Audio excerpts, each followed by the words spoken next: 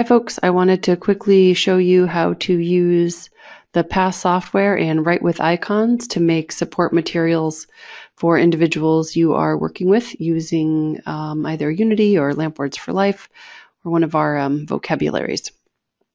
So the first thing that you need to do is download the PASS software from our website, www.prentrom.com, and then you're going to go to the support tab.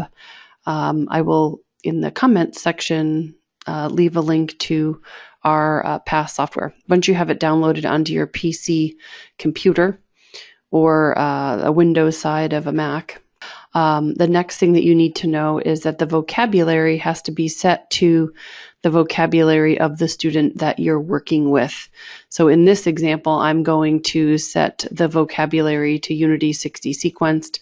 Please know that when you um, download the PASS software, it does come down in the Unity configuration. Uh, if you need to load in uh, LAMP Words for Life, you might have to do that depending upon the vocabulary that your individual is using. Um, but just note that the vocabulary that your individual is using needs to be showing. And I will um, also in the comments section leave you a link as to how to replace a user area so you can gain access to your students' vocabulary. So for, uh, like I said, for this example, I'm going to go to Unity 60 sequenced. The next thing I am going to do is um, start making uh, support materials. So how I am going to do that is I'm going to come up to the vocabulary tab and then I'm going to come to vocabulary display options and then I'm going to come down here to write with icons. If you are a uh, keyboard shortcut kind of person, you're going to just uh, select F11. Once I do that, a preferences um, box will come up. You can set different preferences for how you want write with icons to look. Uh, but for demonstration purposes, I am just going to use the defaults and say OK. At this point, no, um, in this top area, these are the directions to using uh, Write with Icons. Um, but I'm going to just show you. So what, what I have in mind is I'm going to make some labels for around the classroom. And rather than labeling my environment with nouns, I am going to label it with um, phrases that include core vocabulary. So, for example, um, on my light switch, I might have the word turn and then on and off. So you can see here as I'm typing, I type the word and then I hit a space and the icon sequence appears. Type the word, hit a space, and the icon sequence appears. So for my light switch, I'm going to have turn on and turn off. Uh, for my door and maybe for the windows in my classroom, I'm going to do the word open. So I'm going to type open and then hit a space and then um, also the word close. So you get the picture here. So at this point, I can simply, if I use my um, my uh, mouse plus the control key, I can start to highlight these things or shift, sorry, um, and then I can do um, control C to copy um, which I can do Control C. And then if I want to open up a Word document or a PowerPoint, I can do Control V and then paste those icon sequences.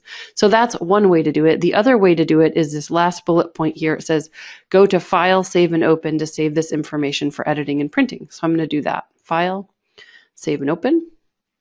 I'm just going to throw this on my desktop and I'm going to call it test because everything that I call test and it lands up on my desktop, I know I can uh, junk or get rid of. So I'm just going to hit save.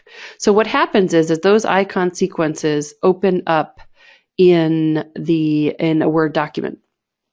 So you'll see here I have my sequences and at this point I can do some formatting. So maybe I am going to um, put turn on on one and actually I'm going to copy this because I need turn with off as well. So I'm going to highlight it, control C, put my cursor down here, control V, so now I have turn off. Maybe give myself a little bit of space. Move this guy over here a little bit. And then come down here and put a space between these. And so I'll open and close on their own, like so. At this point, I could print this out on cardstock. I could print it out on a sticky label. Um, with a colored printer, right? So I'm just do file print, print in color, and then I can cut these out. I could laminate them if I put them on cardstock. I can just throw them up on um, the various light switches and um, things around the classroom.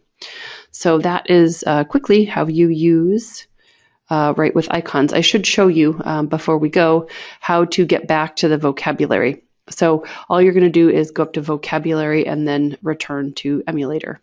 All right, thanks everybody. That's just a quick demonstration of Write with Icons uh, using PRC's PASS demo software. Thanks.